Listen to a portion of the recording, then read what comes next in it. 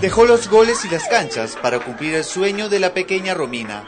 El viernes la familia Cornejo Ramos gritó los goles del delantero. Al verlo en la pantalla, Romina expresó su deseo de conocerlo.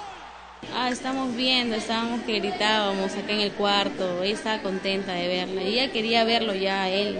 Paolo Guerrero sorprendió a la pequeña Romina a su llegada a la clínica Santa Mónica. El delantero le entregó una camiseta y una pelota autografiada, además de una muñeca. En agosto del año pasado, Romina Cornejo recibió dos impactos de bala cuando una banda de marcas asaltó a sus abuelos en la vía expresa. Desde entonces quedó cuadripléjica. Sin embargo, la niña de cuatro años no ha perdido el carisma y picardía para poder salir adelante. Ella se mostró muy feliz al conocer al goleador, con quien incluso pudo compartir algunas palabras. ¿Tú lo viste ayer? ¿Lo viste ayer en el partido? ¿Entraron sus goles? Sí. ¿Qué te pareció los goles de él? ¿Estuvieron bien? Sí. A su salida, Guerrero quedó encantado con su visita. Ella quiere bailar, quiere bailar todo el rato.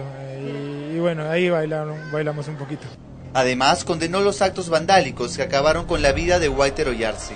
Estos temas no pueden volver a pasar. Eh, esperemos que de una vez cambiemos. Los peruanos tenemos que ser como hermanos y, y que nos pongamos una mano al pecho y, y, que, y que, bueno, gente inocente no puede estar pasando por estas cosas.